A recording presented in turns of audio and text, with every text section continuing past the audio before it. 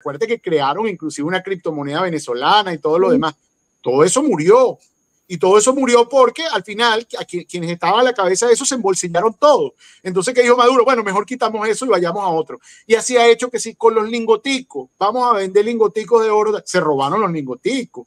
Vamos a inventar el sucre. ¿Tú te acuerdas cuando inventaron el sucre para hacer un sistema de pago? Con... ¿El sucre para qué sirvió? El único que salió millonario con el sucre fue Alex Saab, que hizo negocios en Ecuador con el sucre. y, salió, millonario también Correa. Y, salió millonario Correa. Pero digo de los venezolanos, fíjate, Alex Saab hizo negocio con eso, terminó preso y ahora es ministro. Una cosa sórdida, absolutamente